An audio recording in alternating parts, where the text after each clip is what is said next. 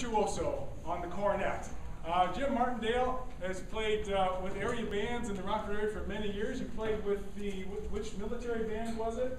Illinois Air National Guard. Illinois Air National Guard for many years. He retired 13 years ago and from teaching, and uh, it gave him the opportunity to actually do what he's wanted to do all his life, and that's practice the trumpet more.